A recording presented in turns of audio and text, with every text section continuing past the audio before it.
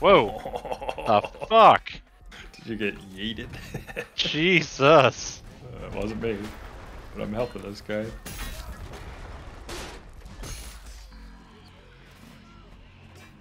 What are we supposed